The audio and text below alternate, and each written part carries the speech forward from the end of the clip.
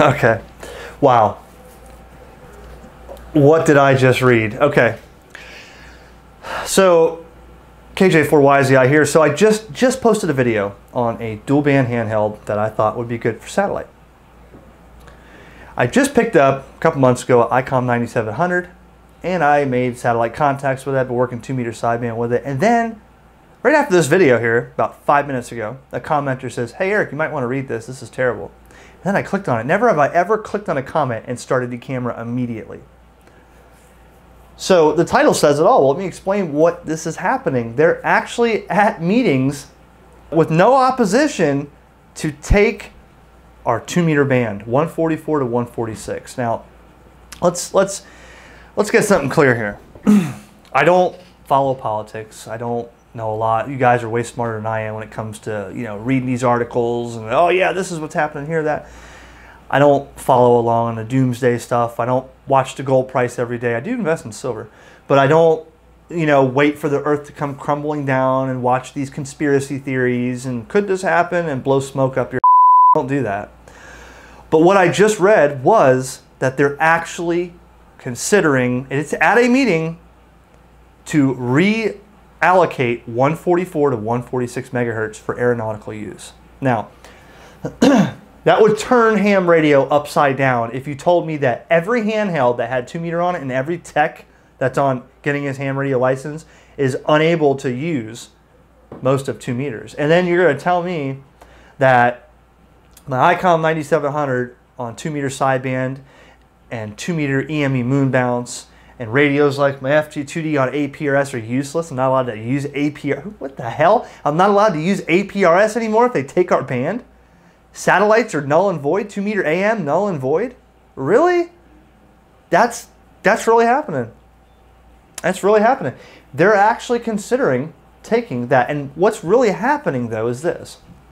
They're like this. They're like, okay, uh, why don't we show those ham guys who's boss? Yeah, let's let's beat them up. Let's let's show them what we can do. No, that's not what's happening.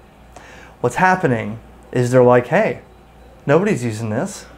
Look at this little section right here. There's not a lot of people on there. Why not cut that up and use it for aeronautical? Imagine, hey Stu, imagine what we could do with those two new that, that two megahertz of frequency. Oh, Rick, that'd be a good idea. Why don't we bring it to a meeting? Put it on the board that's what's happening. Okay?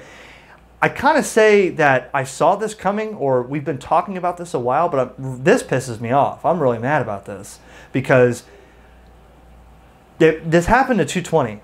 You know, back in the day before my time, 220 was a great band, and they said, "Well, there's you know, you got this guy over here. He's a diehard on 220, and he's sitting there with his radio every day, but there's nobody on there. So why don't we cut that band up and sell this off? Oh, the hams, right, right, the hams give them that little bit right there. Nobody's going to use that. Just give them a little bit, and we'll sell this off, and boom, cha-ching, they make money, and they do this, and they. That's what happened. And the same thing is already now going to happen with these higher frequencies like UHF, VHF. The title is No Strong Opposition. So what's that mean? There's a bunch of people sitting around a table, and they're all like, "Yeah, that's, that's a good idea." And you have this one guy over here. He's like, "No, no, what are you doing?" Imagine sitting at the table when you're that one guy and you're like, no. And everybody's like, okay. No, that's, that's what's happening. And the more this gets underutilized, the more this is going to happen, okay? So let's, let's talk about what would happen. First of all, the reason I'm making this video right off, I mean, I don't script anything, but I just watched that. I was in the middle of something else, and this guy's like, hey, check this out. And I'm like, wow, camera time. what would happen? So MFJ, Gigaparts, uh, Diamond Antenna, Comet. Uh, everybody, I mean, ICOM and Yaesu won't make handhelds that do that anymore. Why are they going to put the technology in if nobody's going to be able to use two meters, right? It'll be all UHF handhelds. What happened to that two meter repeater you bought, you put up? It's gone. My 13 element two meter. I'll tell you what I'll be doing on my 13 element two meter Cushcraft. I'll be beaconing every day on APRS at 160 watts facing north until someone comes knocking at my door wanting to take my stuff. I'll I'll get mad and be a pirate about it, you know. I'm not gonna just like, yeah, here you go, here, take take my stuff too.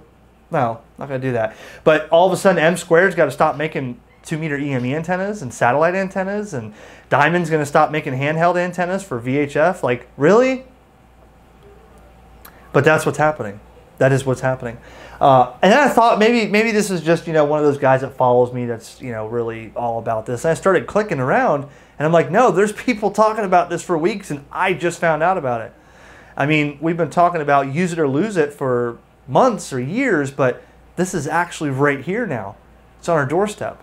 And if you weigh it out, will they actually benefit from taking that? Yeah, because they'll use the band and nobody else will. I'm not saying you don't use the band, but in general, as ham radio, it's everybody's going to a UHF hotspot for D-Star. You know, that guy that really irked me on D-Star that day says, why even learn how to build an antenna? I'll work the world, fill my logbook on D-Star, and I'll hang it up for the year or for my life. You know, that really, so that's your, your ticket. A UHF hotspot or a DVAP, and no need to explore any other bands because you can fill your logbook and go pet the dog when you're done and never get on ham radio again. Like, what fun is that? And that's kind of what some people do. Oh, two meters, that's, that's the, the kiddie band. Really? I got news for you. I've done more on two meters than you have if you say that. If you say that, I have way more experience on two meters than you ever will have if you tell me that's a kiddie band or that's the little techie band or that's the beginner band. No. You're the guy that sits there on the 40 meter rag chew and just listens all day every morning on the net and doesn't say anything except when you disagree and you throw your call out and that's you you know that's me getting angry. I mean how do you how do you tell me that's the kitty band? Oh two I, there's one guy around here i'm like oh so i haven't talked to you but you've lived here for 15 years. Yeah i don't get on two meters that's for the, the, the young guys. That's for the you're the person that's making the reason that they want to take that two meters is just as important as any other band that we are licensed to use, period. The end, shut your mouth. You're wrong. You can disagree all you want, click thumbs down. You're wrong. Two meters is not the kiddie band. It is not the tech band. It's not the, well, we use that until we learn how to build an antenna that we never go there again. You're the reason why they think that and start taking our bands. UHF and VHF, even before my time, you were on AM, people were on different, you know, it was a big deal. There's people trying to use VHF to work transatlantic to the European. But the guy that tells me two meters is a kiddie band, for some reason, can't get on HF and make a contact two states away. But there's people that live their life on EME moon bounce, and that's all they do. They devote every minute of their time bouncing signals off the moon. That's impressive. 500, almost 500,000 mile contact there and back and you're going to tell me two meters is a kiddie band or two meters isn't important or it's underutilized and we're going to take two meters because we need to use that for aeronautical? Wow. So i get a little angry and, and i probably half of this probably makes no sense i may be wrong but let's raise awareness now. Let's start this. If i need to make a video to submit to somebody with legitimate information on why they're stepping on the wrong toes give me feedback in the comments. Tell me what I need to do. Tell me, you know what, Eric, make a new video because you're totally wrong. Okay. Or, you know what, you got a good point. Let's start sharing this. Yeah, let's do that. But you guys are smart out there, and I learn a lot from my commenters. So leave a comment on what you think is happening or what is happening. Clear up me or tell me I'm totally right, and let's do something about this. Or let's let them take it because Lord knows I have no pull in this hobby.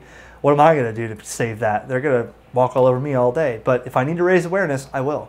I'm here to protect our two meter band, our handhelds, our two meter EME moon bounce, and our satellites that use two meter upload. I mean, what am I going to do with this autonomous satellite tracker if I'm about to build this? I just bought the parts for it, I just made a video on it. They're not going to go up and start changing satellites. They're not going to just start reassigning frequencies on the satellites. I think those satellites will be gone. And they're not going to just start flying new satellites up at how many millions of dollars a pop to satisfy me or you. So this is a big deal, guys, and this is a big problem. Let me know. 73 KJ4YZI. Oh, and to the people in the meetings that are over there trying to do this, thanks.